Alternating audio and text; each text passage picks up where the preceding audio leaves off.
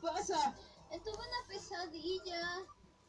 Ay, nena, recuéstate y cuéntamelo todo. Sé que suena absurdo, pero soñé que venía de aquí y me robó mis dibujos y... ¡Ah, Darquita! ¡Rápido, te escopeta! ¡Hay que por las ventanas!